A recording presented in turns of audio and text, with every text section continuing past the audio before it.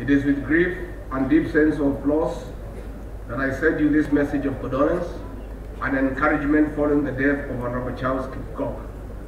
Words cannot convey the magnitude of the loss.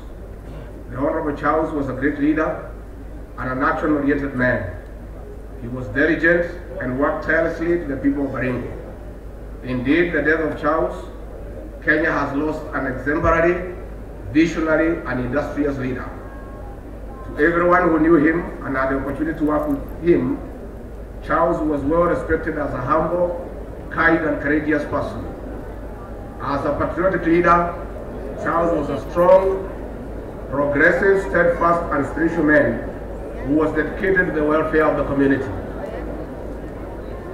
Honorable Charles was equally a development-conscious servant of the people and a promoter of unity who was always full of fresh ideas that transformed lives, especially those of the youth, women, and the vulnerable.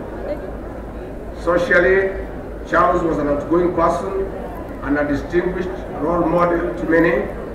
Indeed, Charles was a favorite in the community he served due to his cheerful, loving, and friendly disposition. Those who knew him benefited immensely from his selfless leadership, wisdom, and generosity. We will always appreciate, cherish, and remember him for his leadership, contribution, and the premium that he placed on education and the advancement of the tea industry. As we mourn the loss of this noble, visionary, and dedicated leader, we pay tribute to his legacy, which I hope will be carried on for generations to come. We honor his life, his achievements, and the example which he has left with us.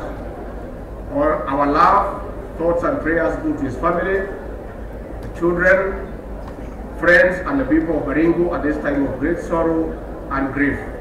We pray that Almighty God will give you the strength and courage to bear the tragic loss.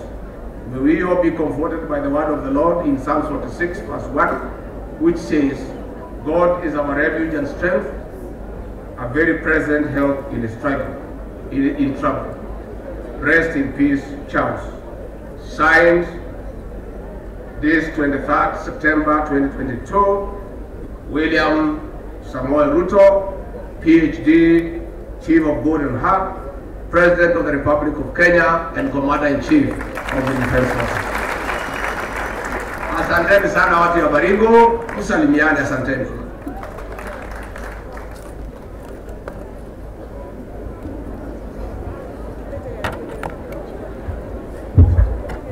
Asanteni sana naibu wa rais, tutulie kidogo wananchi, tupate vote of thanks, alafu maombi ya mwisho. Caroline Onchoka, tafadhali jo hapa just in a second, tupate vote of thanks. And as she comes, tunapata risala za rambirambi kutoka Profesa Henry Kiplagat, Vice Chancellor Kabarak,